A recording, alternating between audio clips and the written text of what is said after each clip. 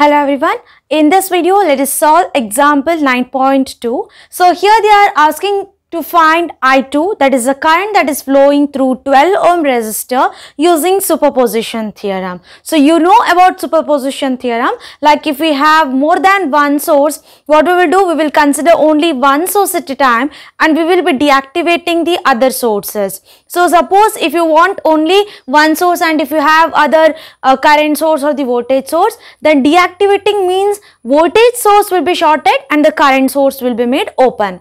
So in this case we have uh, two voltage sources only there is no current source. So what we will do is we will consider only one source at a time here. So if I am considering the 54 volt uh, voltage source, I have to short this 48 volt voltage source and I have to find the current through the 12 ohm resistor. Next in second step what I will do, I will consider 48 volt voltage source but I will be deactivating this that means I will be shorting this 54 volt voltage source and I will be finding the current through the 12 ohm resistor. So finally what we will do, we will use this additivity property. So because of these two sources the currents which are flowing will be added okay then uh, the resultant I2 will be found out. So now what we will do is we will take 54 volt voltage source into consideration. In this case what we will do we will short this. So we will redraw this circuit. This is 54 volts. This is 24 ohm. This is 12 ohm. This is 4 ohm and this is shorted. Okay, this is 4 ohm. So here we have to find the current. See, we, uh, we can see that the 12 ohm and the 4 ohm, these are in parallel. So we can use the current divider rule. If I consider this main current I, okay, this is the current that is getting divided between these two branches. So we have to find this I. So to find this I, we have to take into consideration both the resistors. Don't do the mistake of ignoring this. Okay, I have seen many people ignoring this resistance and they will find I is equal to 54 divided by 24 plus 12 and this will give you wrong answer because the current it is getting divided here also you have to take this resistor also into account. So first let us solve the parallel combination 12 into 4 divided by 16. So this is 3 ohms. So here what happens instead of this parallel combination I can replace it with a resistor single resistor of 3 ohms. So here I can write it like this 54 volts this is 24 ohms and this is 3 ohms. This is 3 ohms. So now what happens? We can find this current I, right?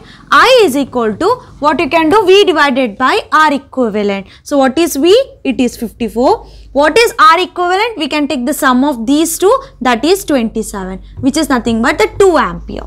So this current is 2 ampere and this 2 ampere it is getting divided between these two resistors.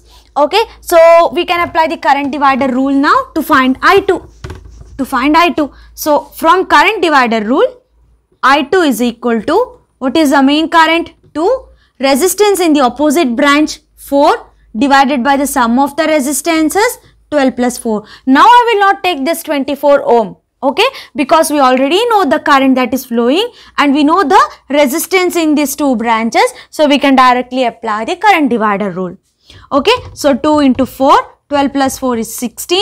So this is 1 by 2 and here it is 0.5 ampere. So the 0.5 ampere current because of the 54 volt voltage source it is flowing in the mentioned direction. So this is 0.5 amperes. So we have already found out this. So not only this method you can also use the source transformation to find this current. How? We will convert this voltage source into current source that is 54 divided by 24. You know that when we are using source transformation, the value of the resistance does not change here. So, this is same thing. Here we have 12, here we have 4. Okay. Now, what you have to do is, you have to solve these two. Don't alter this 12 ohm resistor because you are finding the current through that 12 ohm resistor. So, you should not alter it. Means you should not touch the branch where you are going to find the current or the voltage. So here I am finding the current. So I am leaving it as it is. I am not going to touch this branch. but I will do the modification to the other two. So 24 into 4 divided by 28. Okay, so what we can write this as 24 by 7. Okay, now we have 54 by 24. Then we have 12. Then we have 24 by 7. So now to find the current I2, we can use the current divider rule. 54 by 24 into 24 by 7 divided by 12 plus 24 by 7. So here what we can do 24 24 cancels. This is 12 sevens are 84. 84 plus 24 is 108. 108. Then we have 54. Right? 54. 54 divided by 108. So this is 2 ampere. See, using this method also we got 2 amperes as our main current. This is also 2 amperes using the source transformation. Okay. Then remaining thing will be same. So now let us take into consideration 48 volt voltage. So now, so now we will be considering 48 volt voltage source. So the 54 volt source will be shorted. This is 24 ohm. This is 12 ohm. This is 4 ohm. And here we have minus plus 48 volts. So make sure that you are going to write the polarities carefully. Okay, just uh, see here it is minus and plus. So you know internally what happens, we can write the current source like this that is towards the positive terminal. I will take the current in this direction I which is getting divided between these two branches. So, uh, we cannot just ignore 24 ohm and we cannot calculate this I.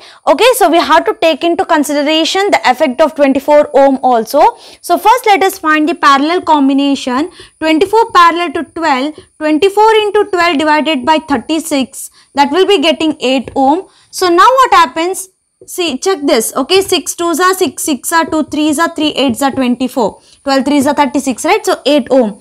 So, next we have 8 ohm okay? Then we have 4 ohm. Then we have minus plus 48 volts. So this is the current now which is flowing which is equal to 48 into total resistance that is 12 so that is 4 amperes. So this 4 amperes it is getting divided in between 12 ohm and the 24 ohm resistor.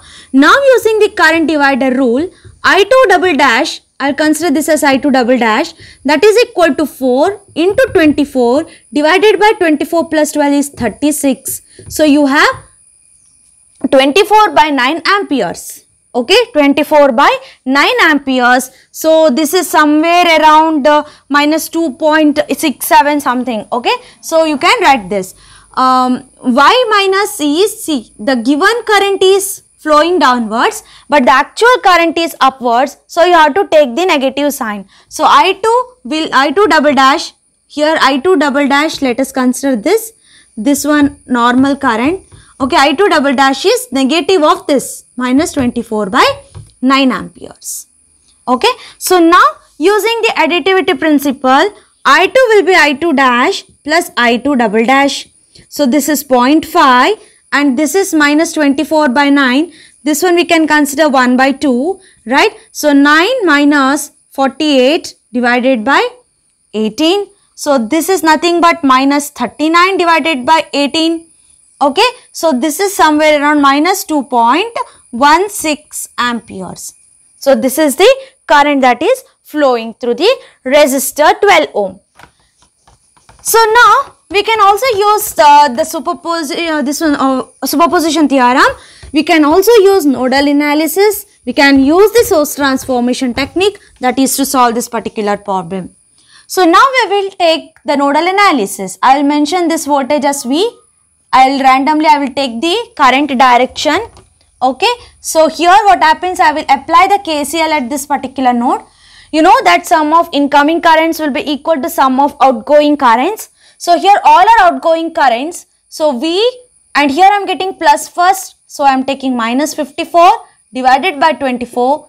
Next this is V divided by 12. This is V plus 48 divided by 4. Since I am getting minus first I am taking it as plus. This is equal to 0.